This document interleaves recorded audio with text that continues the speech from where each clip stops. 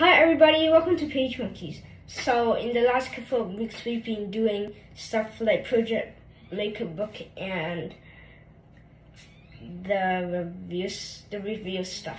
So um, I thought we'd just do another regular book recommendation.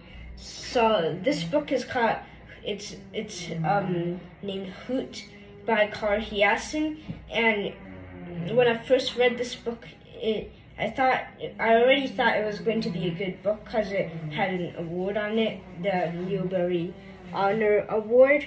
So, um, this book, the protagonists are mainly Roy uh, Fingers, whose real name is Napoleon something, and Beatrice Leep. So, in that part of the country, they um, there's lots of owls, as you can guess right here, and like a bunch of like a tag on this are trying to are trying to like cut down the place where the owls live so that you can build other stuff.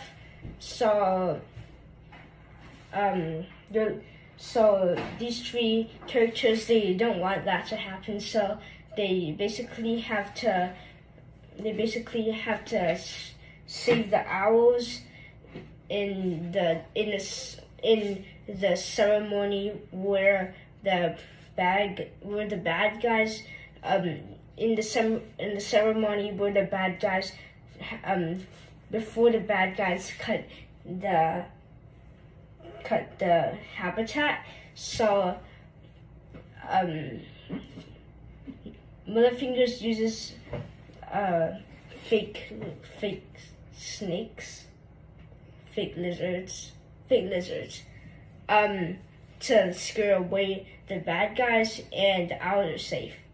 And it's a really great book because uh, it's about problem solving and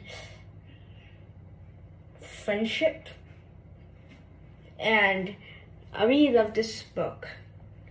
And overall, I, if you want to read it, I encourage you to read it. And yeah, that's it. Bye.